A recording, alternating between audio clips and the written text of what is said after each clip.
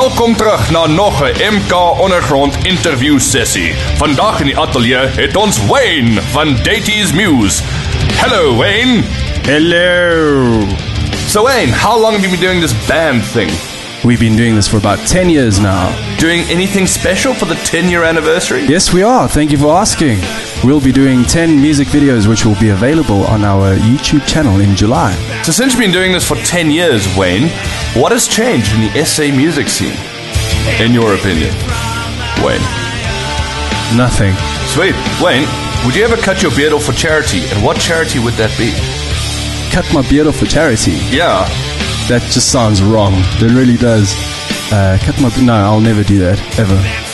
All right, uh, Wayne, don't you think it's a bit weird now that you tend to have a festival every weekend that's got 50 bands and it's always like 50 rand to play and it's everywhere and it's just really the same thing over and over again? Don't you miss the good old days? I do. I miss the good old days.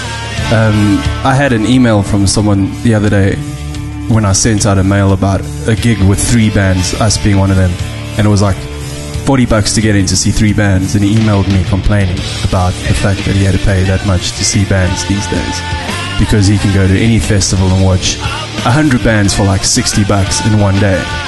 And it's it's ridiculous. It's actually it's almost killed the scene because everyone's jumped on the bandwagon. But really, it actually kind of cheapens everyone because, like, you're basically paying a one rand fifty for a band, and that's like you're basically openly stating that that is what a band is worth.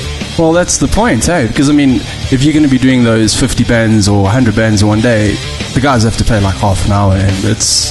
You're not going to see your favorite band play all their songs, or at least more than just five songs anyway. It's. In moderation, we have those, those shows that happen annually, and that's cool, but these days, everything is a festival. And, yeah, it's a bit of a cop out. So the MK Ondergrond would love to give Wayne Boucher of Deity's Muse the the Courage Award for quitting his day job and undergoing a full-time career as an underground musician, which makes no sense to me or anyone else. Why?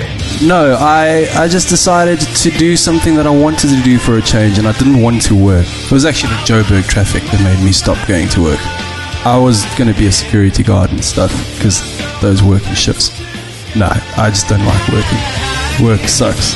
And who says that listening to rock and roll and metal demotivates your children, parents? Here's Wayne. He's living proof. He's a motivated dude, right? And he's motivated to not work. Any parting words before we butter off into the sunset? Yes, let's all bring the machine down together by all stopping work. Just stop work. Stop working, everyone. Live rock and roll forever. Thank you, Wayne from Deity's Muse.